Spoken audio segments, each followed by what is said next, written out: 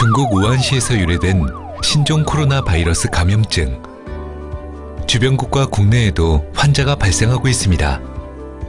중국 방문객은 야생 동물과 가금류 및 호흡기 증상자와의 접촉을 자제해 주세요. 방문 후 14일 이내 기침, 발열 등이 있다면 1339 콜센터와 상담하고 의료기관 방문 시 해외 여행력을 꼭 알려주세요.